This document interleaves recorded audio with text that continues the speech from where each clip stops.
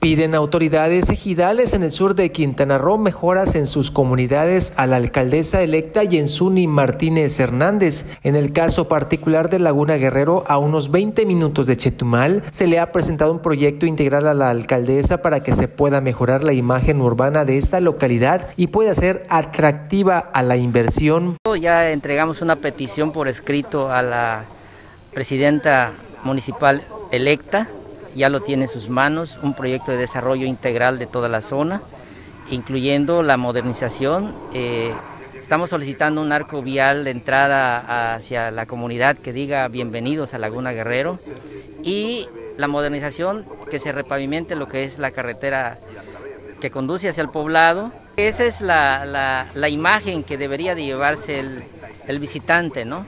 Y en eso estamos, estamos haciendo las peticiones ante las autoridades correspondientes. Esperemos que tengamos una respuesta afirmativa.